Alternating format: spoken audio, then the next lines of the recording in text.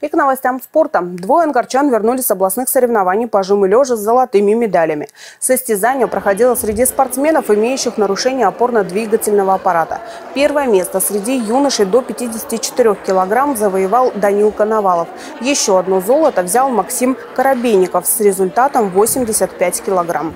Ну, было волнение морально, то, что все спортсмены сильные, подготовленные, но мы старались собраться и выполнить ну, поставленную задачу тренера. Мне кажется, у нас получилось.